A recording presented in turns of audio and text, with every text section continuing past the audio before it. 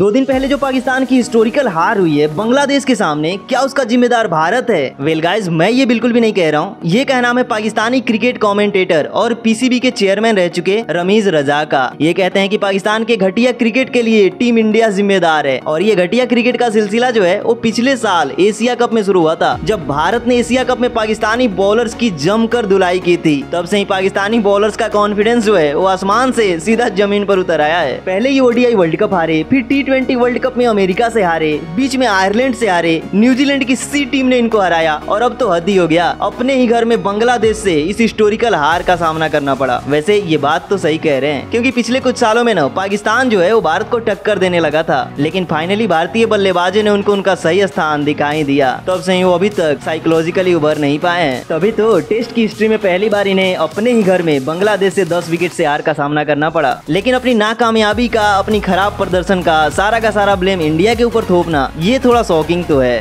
आप इस बारे में क्या सोचते हैं कमेंट में अपनी राय जरूर रखिएगा